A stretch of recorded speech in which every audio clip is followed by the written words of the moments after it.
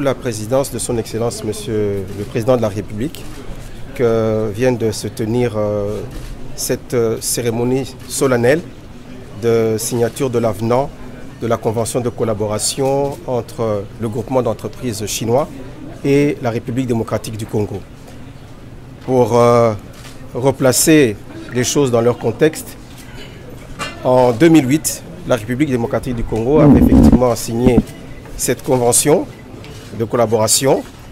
Et à l'avènement à la magistrature suprême du président Félix-Antoine Tshisekedi, euh, il a plu à son Excellence que de revisiter cet accord afin que euh, cette convention soit gagnant-gagnant. Le malheur de notre pays, c'est que l'homme zaïrois, on disait comme ça à l'époque, hein, l'homme congolais n'a jamais été au cœur des préoccupations de ceux qui étaient appelés à prendre de grandes décisions. L'homme, l'homme congolais, a toujours été utilisé tout simplement soit comme un outil de récolte de caoutchouc, de recherche d'ivoire ou de production de minerais ou comme une main-d'œuvre dans des plantations de caoutchouc et de café mais tout simplement comme un outil de production, pas comme un être humain avec une dignité intrinsèque à promouvoir. Et c'est cette logique qui continue aujourd'hui dans notre pays. Aussi longtemps que l'homme congolais ne sera pas au cœur des soucis de ceux qui nous gouvernent, les malheurs du Congo continueront.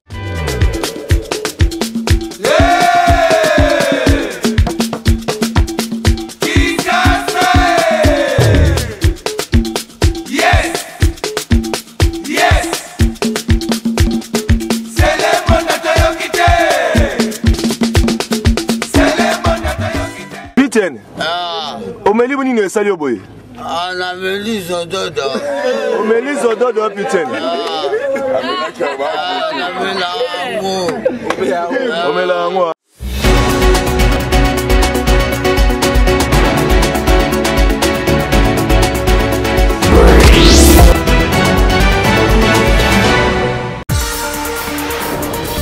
Nouvelle session de votre magazine d'information sur la PSB Télévision. Madame, Messieurs, bonsoir et bienvenue à tous.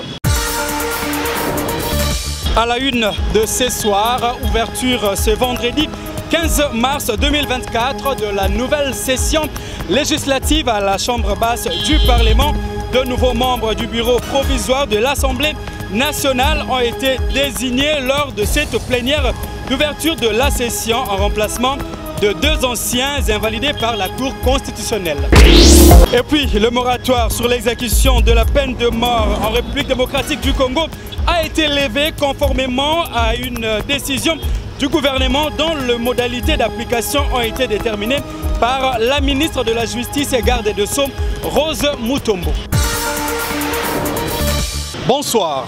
D'abord, cette brève qui nous amène tout droit à la cité de l'Union africaine où le président de la République, Félix-Antoine Tshisekedi Chilombo, a présidé ce vendredi la 129e réunion du Conseil de ministres du gouvernement en charge d'expédier les affaires courantes pour la revue hebdomadaire des dossiers urgents du pays, parmi lesquels la situation sécuritaire qui prévaut dans la partie est de la République démocratique du Congo, mais surtout la situation économique sur l'ensemble du territoire national.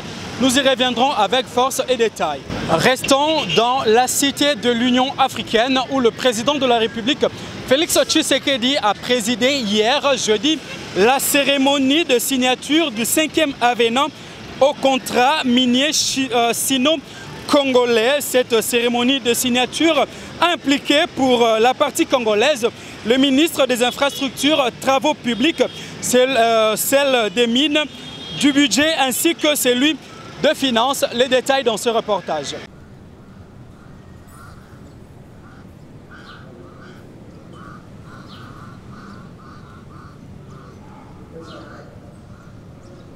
La cité de l'Union africaine, précisément dans la grande salle des réunions du Conseil des ministres, c'est le cadre qui a abrité ce jeudi la cérémonie des signatures de l'avenant numéro 5 à la Convention des collaborations relatives au développement d'un projet minier et d'un projet d'infrastructure en République démocratique du Congo. Tout a commencé par une rencontre du président de la République Félix Antoine Tshisekedi Chilombo avec les responsables du groupement d'entreprises chinoises, une rencontre à laquelle ont pris part quelques membres du gouvernement et les directeurs de cabinet du chef de l'État. Est intervenu ensuite l'événement tant attendu, à savoir la signature devant le président de la République, tour à tour de l'avenant à la convention de collaboration par le représentant du groupement des entreprises chinoises et les vice-ministres des Finances, Madame Onej Sélé, du budget Élysée Bokoumouana, représentant leur titulaire empêché, la ministre des Mines Antoinette Samba et le ministre des Infrastructures et Travaux publics Alexis Guizaro. Pour la petite histoire, le 22 avril 2008, l'État congolais avait conclu avec le groupe d'entreprises chinoises une convention de collaboration relative au développement d'un projet minier et des projets d'infrastructure à RDC ultérieurement modifiés et complétés par quatre avenants. 15 ans après sa mise en œuvre, il a été mis en place, sous l'impulsion du chef de l'État, un cadre de renégociation conformément à l'esprit de la déclaration conjointe entre la République populaire de Chine et la République démocratique du Congo sur l'établissement d'une coopération globale et d'un partenariat stratégique avec comme objectif rétablir l'équilibre dans ces partenariats pour le rendre gagnant-gagnant. Parmi les points d'accord à la suite des renégociations, on note notamment le montant d'investissement pour les infrastructures en RDC de 7 milliards de dollars américains. Plusieurs personnalités ont assisté à la signature de l'avenant entre les membres du gouvernement et les groupements d'entreprises chinoises, parmi lesquels les ministres, l'inspecteur général des finances Jules Alinguete et quelques dirigeants d'entreprises. Merci bien.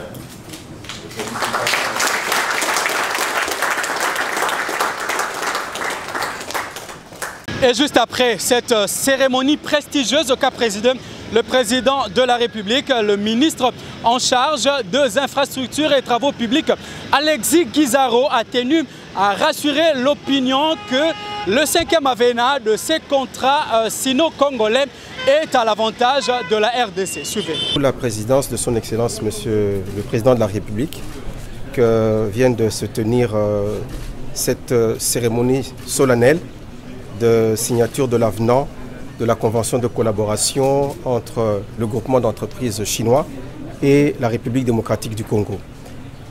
Pour euh, replacer les choses dans leur contexte, en 2008, la République démocratique du Congo avait effectivement signé cette convention de collaboration et à l'avènement à la magistrature suprême du président Félix Antoine Tshisekedi, euh, il a plus à son excellence que de revisiter cet accord afin que euh, cette convention soit gagnant-gagnant.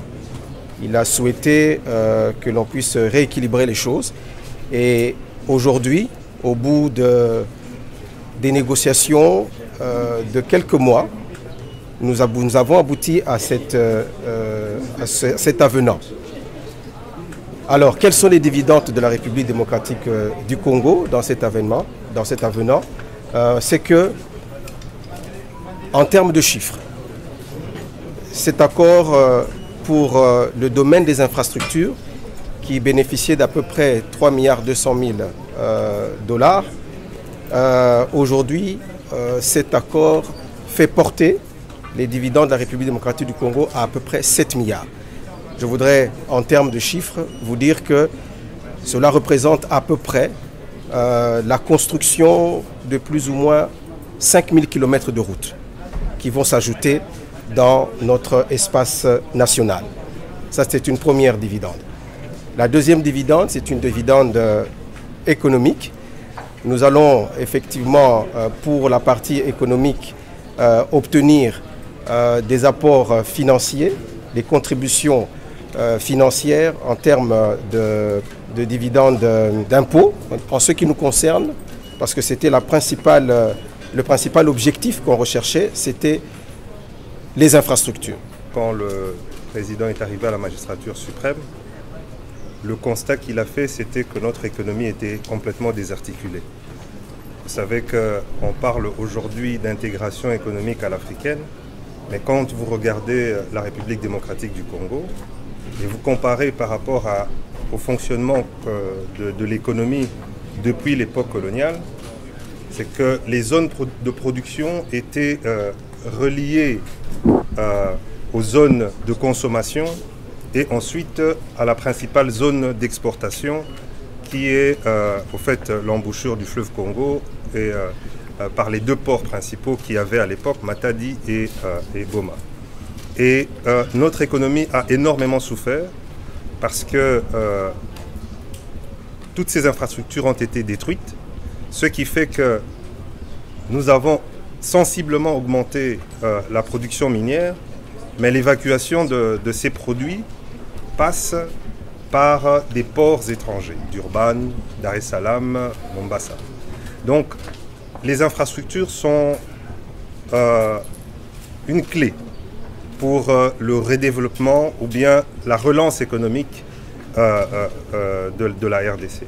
Et en termes de chiffres, c'est l'équivalent de 324 millions de, dollars par an euh, pour les infrastructures, euh, essentiellement routières. Ce sont des royalties supplémentaires pour euh, la GECAMINE et pour l'État, équivalent de 24 millions de dollars chaque année. C'est le rééquilibrage des participations dans le barrage de Boussanga. Vous savez que ce barrage de Boussanga était la propriété du groupe d'entreprises chinoises à hauteur de 75%. L'État congolais en réalité n'avait que 10% et 15% euh, euh, revenait euh, à un consortium privé. Et à la faveur de ces renégociations, l'État congolais passe à 40% et le groupe d'entreprises chinoises à 60%. On renforce le contrôle des activités de la SICOMINE par rapport à la gouvernance de la société où les Congolais n'avaient pratiquement euh, pas un mot à dire. Aujourd'hui, la direction commerciale va dépendre d'un représentant qui viendra de la GECAMINE. On a créé deux postes supplémentaires de directeur financier adjoint, de directeur technique adjoint, pour pouvoir suivre du côté congolais aussi bien la production que euh, les états financiers de l'entreprise.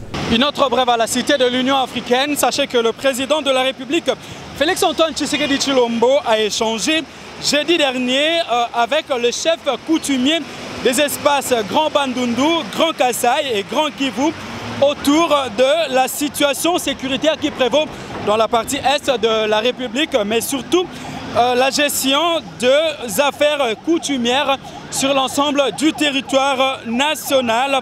Au sortir de ces échanges, le chef coutumier du Grand Bandundu a fait savoir que le chef de l'État a accordé une attention particulière sur leur situation.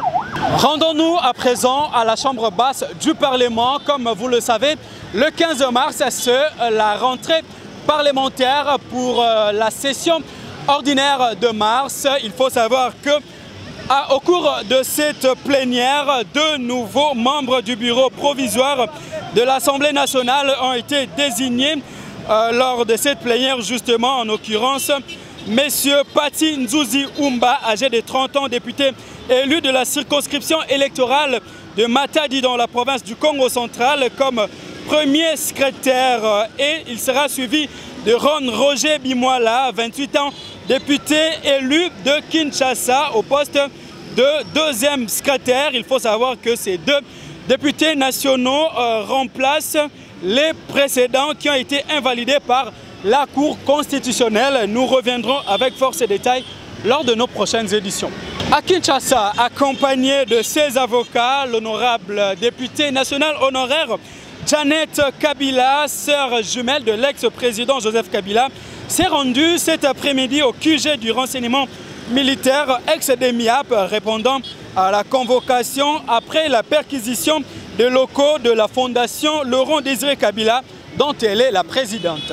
Je l'avais également annoncé au sommaire de cette édition, les moratoires sur l'exécution de la peine de mort en République démocratique du Congo a été levé conformément à une décision du gouvernement dont les modalités d'application ont été déterminées par la ministre de la Justice et garde des Sceaux dans, dans une circulaire adressée au parquet parvenu à votre rédaction. On peut lire la peine de mort consécutive à une condamnation judiciaire irrévocable intervenue en temps de guerre sous état de siège ou d'urgence à l'occasion d'une opération de police tendant au maintien ou au rétablissement de l'ordre public ou encore pendant toute circonstance exceptionnelle sera désormais exécutée a écrit la ministre Rose Mutombo dans cette note. La situation de paye des agents publics de l'État pour le mois de février était au centre d'une réunion euh, présidée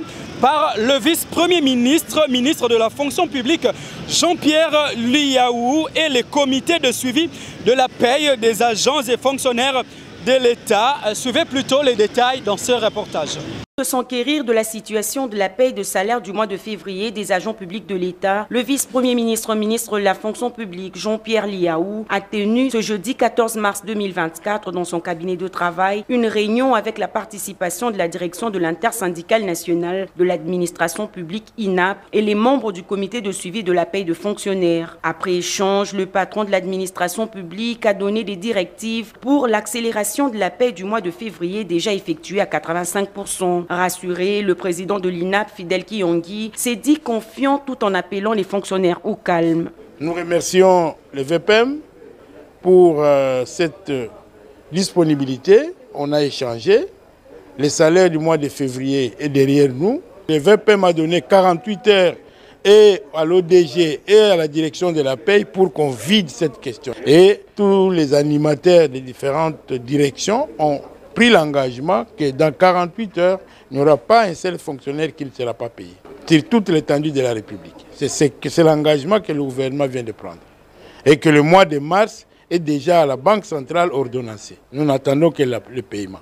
Ayant reçu les orientations du vice-premier ministre, ministre de la fonction publique Jean-Pierre Liaou, l'ordonnateur délégué général du gouvernement, Bienvenu Matenda, a rassuré que les banques commerciales disposent de 48 heures pour terminer la paie de février et de respecter le délai pour le mois de mars.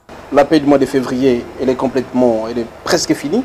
On est au-delà de 85% des banques commerciales qui sont créditées et dans 48 heures, on pourra complètement euh, terminer. Mais pour la paie du mois de de mars, elle est déjà transférée à la Banque centrale.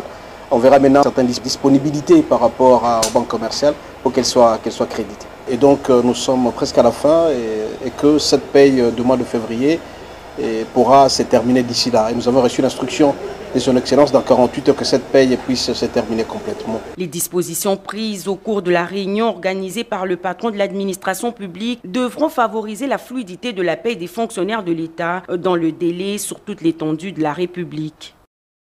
Le bilan et les différentes activités réalisées par l'ARSP, l'autorité de régulation de la sous-traitance en République démocratique du Congo, étaient au centre d'un briefing presse tenu hier jeudi par le ministre de la Communication et des médias Patrick Mouyaya et le directeur général de l'ARSP Miguel Katem Kachal. Suivez euh, l'extrait de ces briefings à travers cette séquence. Avant toute chose, comme c'est le mois de la femme, j'ai je salue euh, toutes nos mamans de la République et spécialement aussi euh, nos mamans de l'Est. Donc euh, nous sommes cœurs avec eux et le chef de l'État travaille là-dessus afin que la paix puisse rentrer définitivement dans notre pays. je pense que l'année passée, nous étions ici où nous avons, nous avions plutôt annoncé euh, quelques avancées, entre autres le contrôle qui a été euh, euh, mis en œuvre afin de pouvoir donner des opportunités aux entreprises à capitaux majoritairement congolais qui jusque-là étaient victimes, comme je peux dire, de plusieurs circuits d'appel d'offres qui étaient hermétiquement fermés.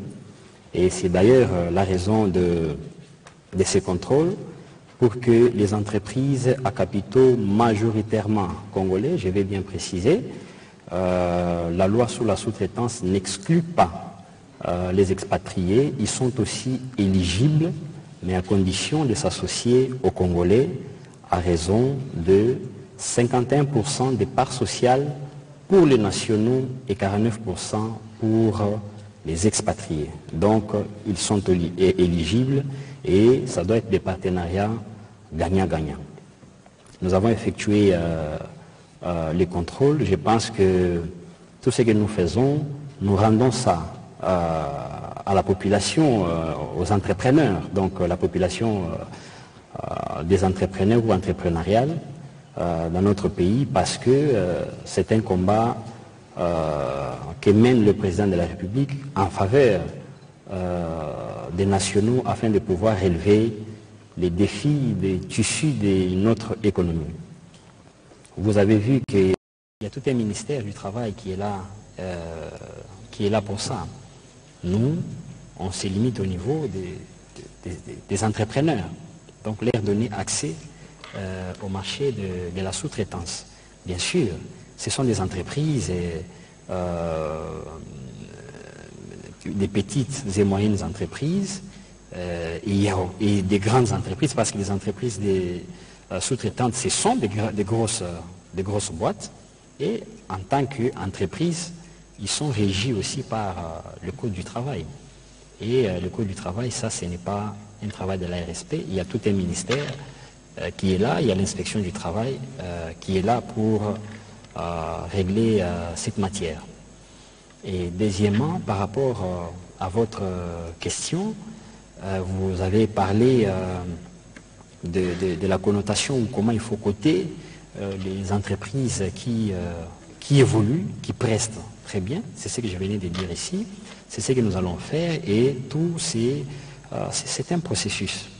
Autant nous demandons aux entreprises principales de donner des marchés aux Congolais, nous exigeons aussi aux entreprises à capitaux majoritairement congolais de bien prester.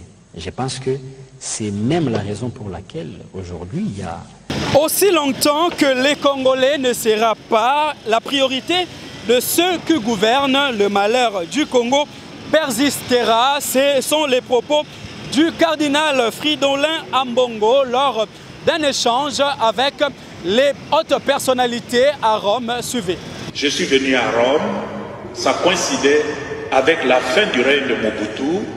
Et j'ai travaillé sur un, thème qui, aujourd'hui, si je regarde en arrière, c'est encore plein d'actualité. Ma thèse a traité de la réhabilitation de l'humain comme condition d'un vrai développement aux Zaïre. Nous étions aux Zaïre, le Zaïre de Mobutu l'humain. Et ça m'a permis de faire tout un travail chronologique de l'histoire de notre pays depuis le temps de l'État indépendant du Congo sous le roi Léopold II, en passant par l'époque coloniale et l'administration du Congo, puis le Zaïre, par des autochtones depuis ce temps-là, j'arrivais à la conclusion, le malheur de notre pays, c'est que l'homme zaïrois, on disait comme ça à l'époque, hein, l'homme congolais n'a jamais été au cœur des préoccupations de ceux qui étaient appelés à prendre de grandes décisions. L'homme, l'homme congolais, a toujours été utilisé tout simplement soit comme un outil de récolte de caoutchouc, de recherche d'ivoire ou de production de minerais ou comme une main-d'œuvre dans des plantations de caoutchouc et de café, mais tout simplement comme un outil de production, pas comme un être humain avec une dignité intrinsèque à promouvoir. Et c'est cette logique qui continue aujourd'hui dans notre pays. Aussi longtemps que l'homme congolais ne sera pas au cœur des soucis de ceux qui nous gouvernent, les malheurs du Congo continueront. Situation de spoliation de cimetières dans la ville de Goma en province du Nord Kivu. On en parle encore dans ce journal.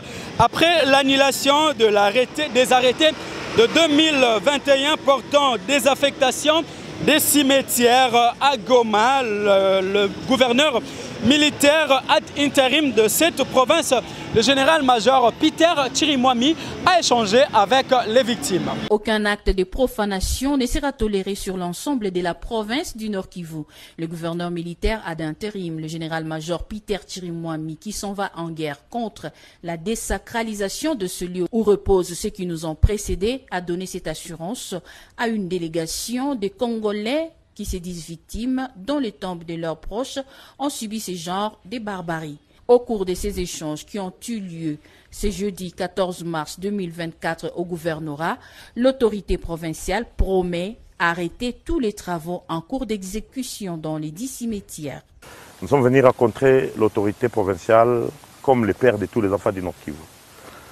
Et nous sommes euh, contents de rencontrer un homme qui a compris les problèmes de la population, Rendons-nous dans la province voisine d'Elituri où un pasteur complice de Zaldef a été pris la main dans les sacs par la force, par, plutôt par les forces armées de la République démocratique du Congo. Il a été présenté par les porte-parole de l'armée dans cette province. Suivez. Une des églises du Christ a été arrêtée par les FARDC à Boutempo. Cet homme de Dieu est accusé d'être en contact avec Moussa Baroukoum, chapeau du mouvement terroriste ADF source élection.net. Il a même fait 21 jours avec Moussa Baroukou lors de sa prise d'otage et avait été libéré sur recommandation d'un de ses familiers qui collabore avec les djihadistes ADF, ajoute le porte-parole des opérations. Sokola en Anthony Malouchaï, selon ses pasteurs victimes, qui a accepté toutes ces allégations, déclare que c'était à cause de la peur d'être tué qu'il collabore avec Moussa Barouko. En tout cas, c'est terrible.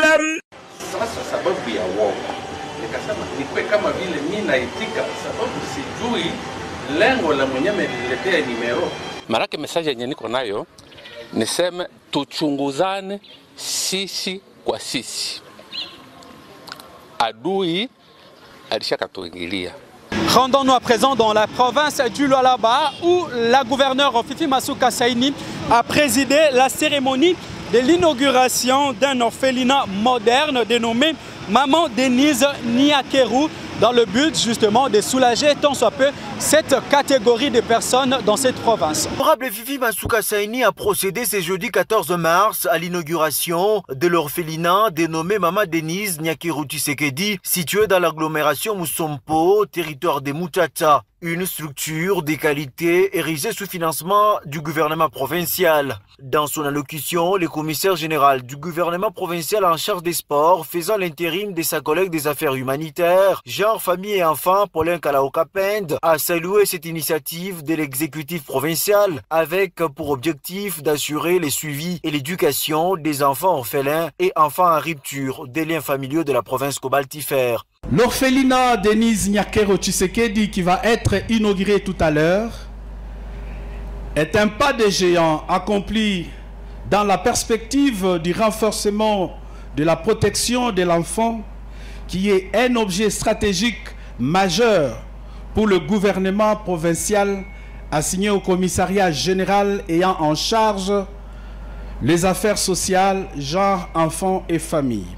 Masuka Saini a remercié le président Tshisekedi, principale source d'inspiration dans la matérialisation de ce genre de projets. Je ne peux continuer mon mot sans rendre mes hommages le plus déférents à son Excellence Félix Antoine Tshisekedi Chilombo, président de la République et chef de l'État, qui a toujours développé une politique sociale très pragmatique afin de matérialiser le contenu du slogan Le peuple d'abord. Nous sommes réunis pour parler de l'orphelinat Mama Denise Nyakeru Tshisekedi, un complexe pouvant accueillir plus de 350 enfants de 0 à 16 ans, qui sont soit orphelins, soit en rupture familiale, soit en manque de toit familial. Mesdames et messieurs, en tant qu'une mère de famille, le social est une manière primordiale Au-delà de toutes ces infrastructures tangibles, ma politique est celle d'offrir à ces enfants que vous voyez un hébergement digne de ce nom, une alimentation saine, une scolarité adéquate, de soins médicaux adaptés et enfin une réinsertion pour leur épanouissement dans notre société. Il est constitué d'une trentaine de dortoirs, un réfectoire, une salle informatique, une salle de couture, un bureau administratif, une pharmacie, une bibliothèque, trois salles d'études, une infirmerie, un bureau du médecin et des installations sanitaires modernes. Après la coupure du ruban symbolique, l'honorable Fifi Masuka Saini et d'autres personnalités politico-administratives de la province ont visité ces centres d'hébergement avant de procéder à l'installation de tous ces enfants dans les dortoirs bien équipés. Se confiant à la presse, à l'issue de la cérémonie, les députés provinciaux Achille Mouteteke et Jean-Marie Kassia Chingambo ont salué à juste titre cet ouvrage de grande importance sociale. Tel que je viens de voir, il faut féliciter. C'est pauvre l'amour du prochain. C'est ce que Jésus nous a laissé, de pratiquer l'amour de son prochain. Les enfants qui souffrent aujourd'hui vont se retrouver dans de bonnes conditions. Il a donc été décidé d'abord pour le gouvernement de donner l'exemple en construisant une œuvre comme celle-ci, qui est une œuvre sur les standards internationaux et qui peut euh, recueillir plus de 300 enfants, orphelins comme enfants de la rue, parce que les enfants en rupture familiale aussi sont concernés par ce projet. Le gouvernement provincial va en construire plusieurs, dans tous les territoires. Et même ici à Colosie, il y a d'autres qu'on va ajouter dans les environs de Colosie. Ce magazine, le dernier numéro de la semaine, touche à sa fin. Voici tout de suite le rappel de titre. Le moratoire sur l'exécution de la peine de mort en République démocratique du Congo a été levé en conformité avec une décision du gouvernement dont les modalités d'application ont été déterminées par la ministre de la Justice. Et puis, ouverture ce vendredi 15 mars 2024 de la nouvelle session à la Chambre basse du Parlement au cours de cette première plénière de la législature 2024-2028. De nouveaux membres du bureau provisoire de l'Assemblée nationale ont été désignés. Il s'agit de Percy Nzuzi Umba, 30 ans, et Ron Roger Bimoala, 28 ans. Vous l'aurez compris, c'est la fin de cette session d'information qui a été réalisée très tardivement par Aristote Ndombele. Nous tenons déjà à, nous excuses, à vous présenter nos excuses compte tenu de la qualité des images. Nous vous donnons rendez-vous très prochainement avec le même plaisir. Portez-vous bien et bon début de week-end chez vous.